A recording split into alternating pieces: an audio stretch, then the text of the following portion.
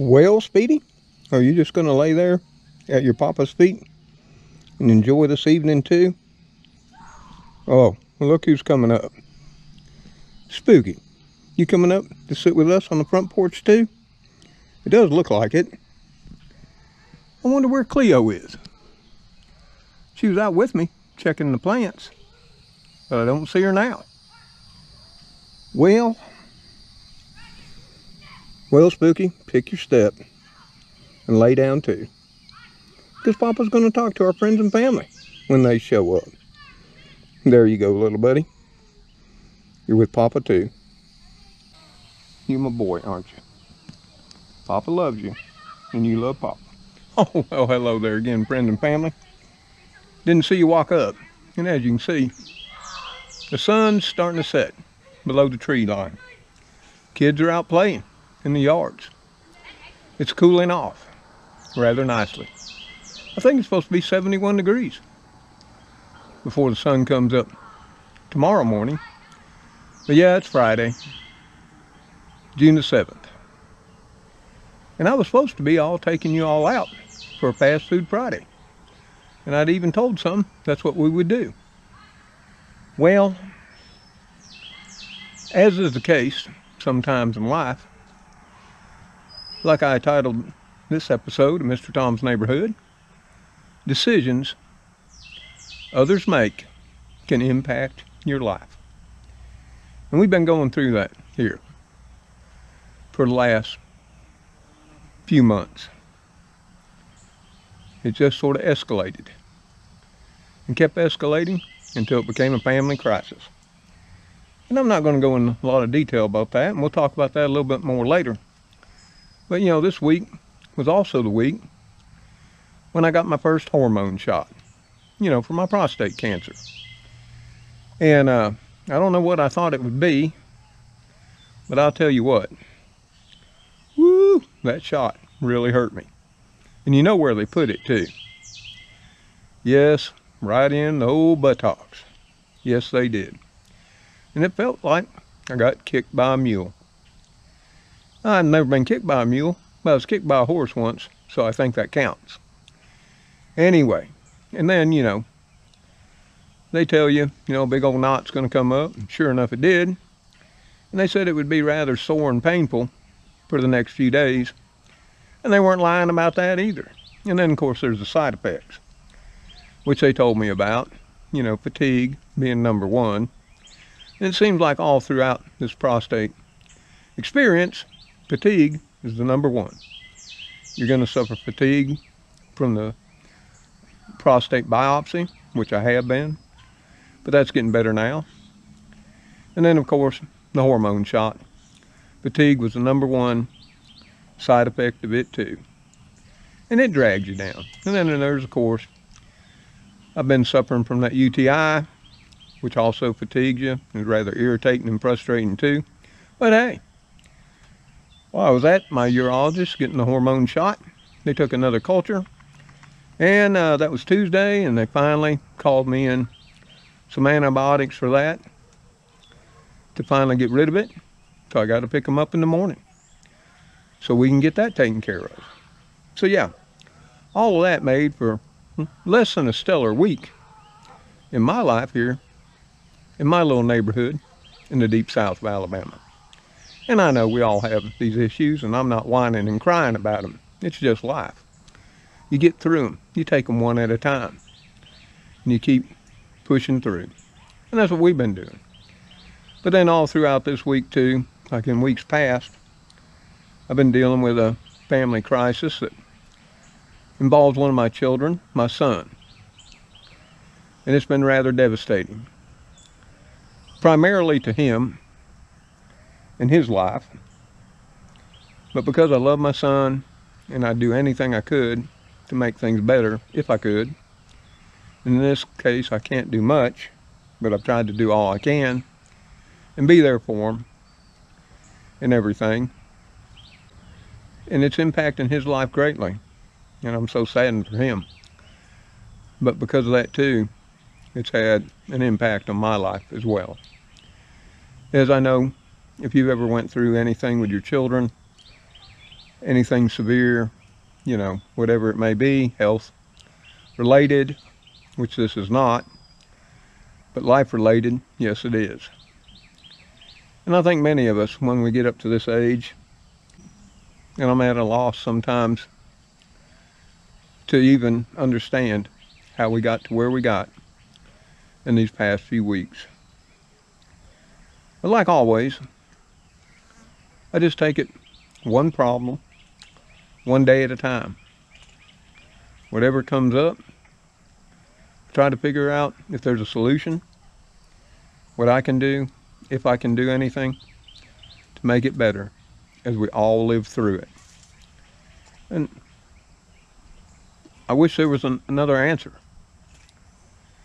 I've really spent a lot of time, you know, especially on the phone, talking to him. And sometimes I think it makes it better, and sometimes not. Yep. And like I say, often as I pray to my Father God, which, you know, should he deem it to be, he can make all things better and all bad things go away. And as fathers and mothers, that's what we'd like to do for our children.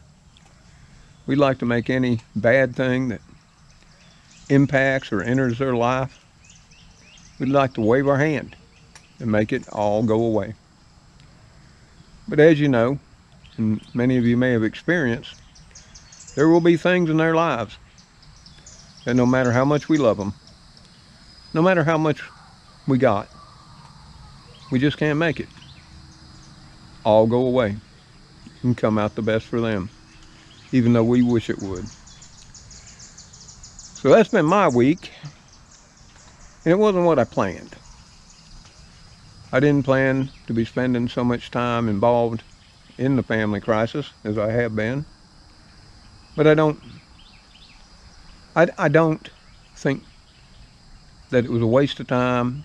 I don't look at it as a begrudgment to me. And I really don't look at it as it's impacting my overall life, except sometimes my sanity. Uh, and of course, at times it breaks my heart. But other than that, it's been a good week. And that's how I try to look back or look back at each day, pick out the good, and I do my best to leave the bad. Let it sit in the dark and go away. But sometimes you can't get away from the darkness that hangs over your family and your heads. You just can't escape it, no matter what you'd like to do. And oh yeah, I was looking forward to a Fast Food Friday because as you know, many of you donate and contribute through the Super Thanks, private donations, to treat the kitty crew and this old man on Fridays. And it's been a while since we've done one. And with the way the week's been, I was really looking forward to it, but hey, life goes on. Got plenty of food in the house, which we'll be preparing soon this evening. It won't be much because it's been a long, long day. Yes, it has. And you still got chores to do.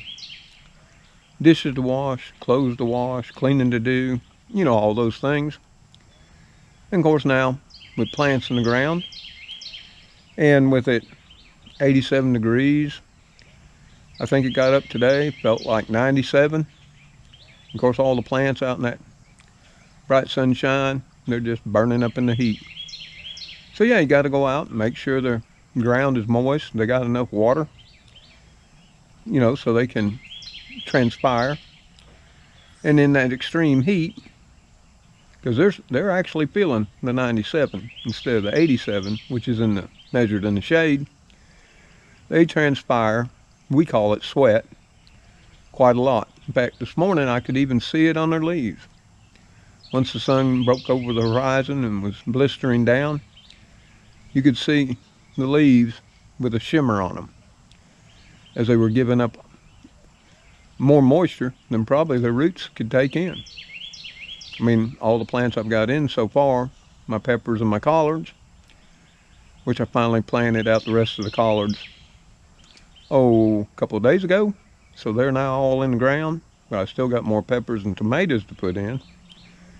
And hopefully tomorrow, I'll be able to do that too. We just have to wake up, see how we feel, and see what the day brings us, and be prepared to meet it head on. And that's exactly what I'll do. But I wanted to come on here, since I said I'd do a Fast Food Friday video, and that didn't happen, because I haven't been long back to the house. And it's now approaching 7.30 in the evening. Like I say, the sun's getting low. Yep, it's been a long day. Woke up, the plan was to get the rest of the plants in the ground since the rain let up. And that was another thing this week. The constant rain. We've had so much. Yeah, it's kept me out of the yard with the mower. I was able to get the rest of the collards planted in between the storms. But yeah, you know, if you went through things with your children, maybe you can share what you did, how you got through it, and were able to cope. Because I don't think there's anything harder in life than dealing with our children's problems. You see, no matter how old they get, they're still our babies, at least in my mind. So yeah, that's all I wanted to do was come on and explain why we didn't do the Fast Food Friday video. I hope you'll let me slide on that. And maybe next Friday we can all jump in Alice, take a ride, and enjoy a treat. Hey, maybe I'll spring and buy you one too. So yeah, I'm gonna sit out here, listen to the birds, feed some treats to the kitty cats, and ponder life and what it'll bring in the days to come. So hey y'all, I hope you've had a great week wherever you may be in this big wide old world. And uh, your health is good, your spirits are high. And as always, y'all take care out there. Stay safe. May God bless you all as you've blessed those in your lives. Goodbye for now. Well, well, I tell you what. Life is pretty good though when you got three fine furry friends like these right here. Yep. Life doesn't get no better than this. In my neighborhood. Later all.